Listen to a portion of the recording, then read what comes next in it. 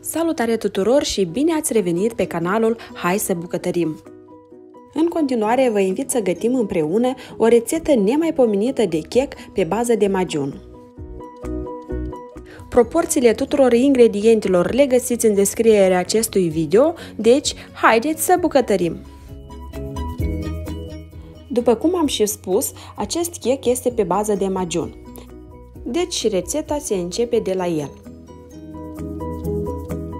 Adăugăm la magiun puțin bicarbonat de sodiu și îl amestecăm foarte bine.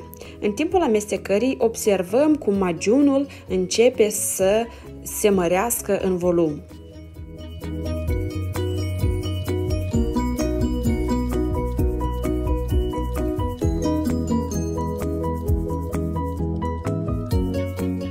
Când compoziția a devenit omogenă și puhavă, adăugăm cele două ouă de găină pe care le batem foarte bine cu o furculiță.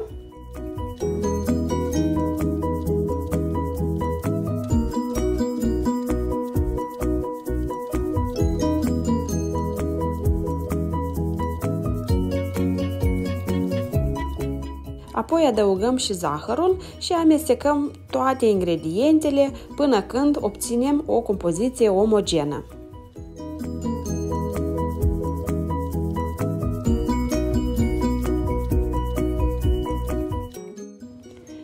Atunci când zahărul aproape s-a dezolvat, adăugăm și chefirul și îl amestecăm foarte bine.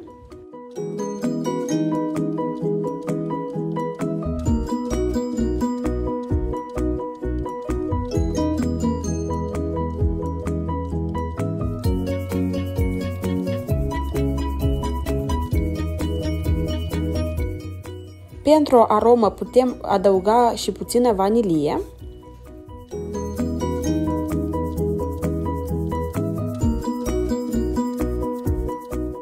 La masa obținută adăugăm și făina.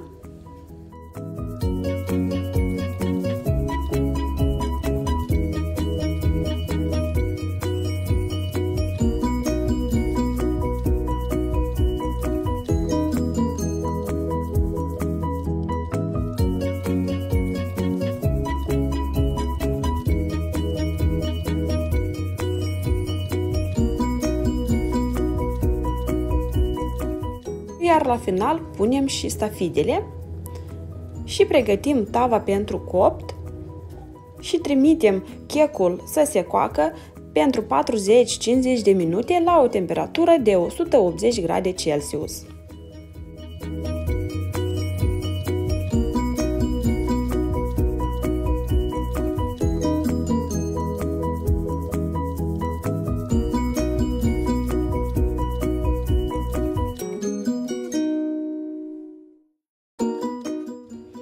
După ce ne-am asigurat că checul este copt, îl scoatem din cuptor și îl transferăm pe o farfurie.